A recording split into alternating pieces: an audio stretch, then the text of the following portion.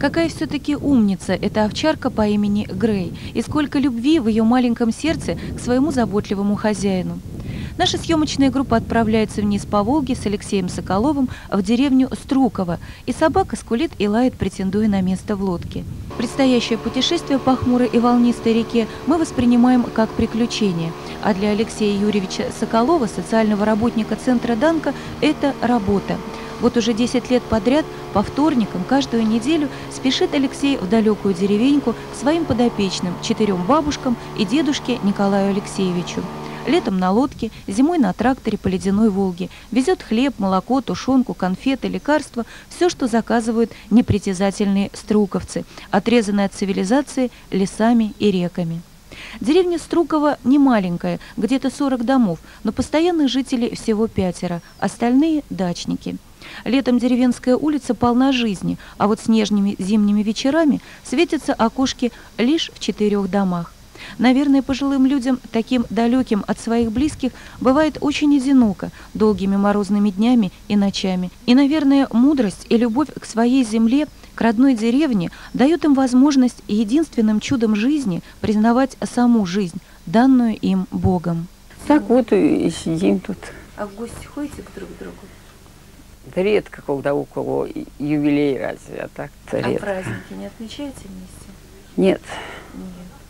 Ну, вообще дружно живете или бывает, что и по Да вроде дружно, не ругаемся. И, наверное, все про всех все знают. Кто у кого родился, кто женился. Это да, это уже да. Антонина Ивановна, а вот уезжали вы когда-нибудь куда-нибудь отсюда? Нет. Вообще не выезжали? Ну, может быть, куда-то там в гости кому Ну, гости, э, по что были, ездили. ездили, да? Есть. Куда, если не секрет? Ну и в Углич ездил, там у меня сестра, племянница. Потом вот и сын туда кончил, там какое-то училище. Ну, вообще-то, вот вы более или менее довольны своей жизнью, потому что, ну, я не знаю, ну, каждый думает там уже о преклонных каких-то годах, это все равно тяжело, и каждый ну, представляет, как это будет. Вот как вам кажется, вот вы довольны сейчас своей Так думаем, что умрем, да и все. Что нам больше ждать-то? Ждать ши- Мне 76, с шестой год.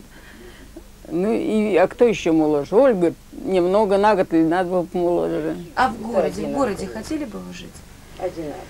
Ой, не знаю, сейчас не знаешь, как сказать. А раньше Город. хотели в городе? Да вроде жалели, что не уехали.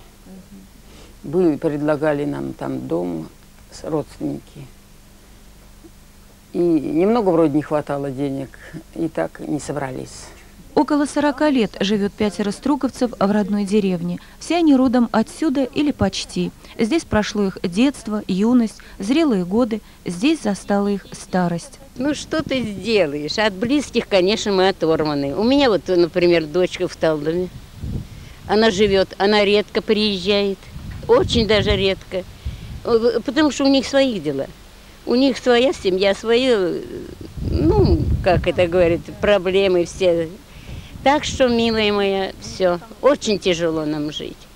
Особенно зимой. С кем же мне дружить? Когда старая уже дочка у меня, э, и ей тоже не бросишь квартиру. Она туда уезжает, в Рыбинск. А я здесь одна остаюсь. Кое-как справляюсь. Э, к Ольге Ивановне посидим, Чайку побьете? э, попьем чайку, поговорим, языком поболтаем. Ну, вы, наверное, как родственники тут все уже стали. Так старость всех соединит.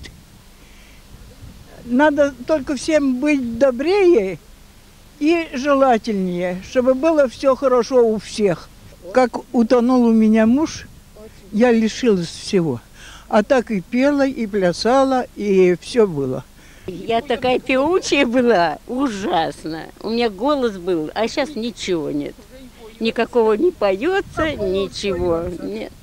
Алексей Соколов – ангел-хранитель стрелковских бабушек, опора не только для них, но и для своей семьи, где подрастают сейчас две дочери. Его труд как социального работника уважают не только его подопечные. Недавно он был награжден грамотой губернатора Ярославской области.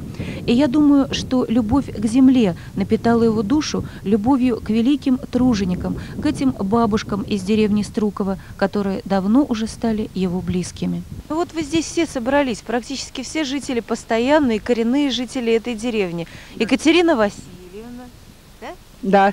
Ольга Ивановна, Николай Алексеевич, Антонина Ивановна и вот ваш неизменный спутник Алексей, который помогает вам во всем. Да, вот. Очень хорошо помогает нам. Так он помогает. Он и газ возит. Он что не попросишь. Даже вот Екатерина Васильевна, она не может идти. Так ее сразу тащить надо. Все, он такой хороший. Спаси Господи его. Ой, только я не знаю, какой же он хороший у нас.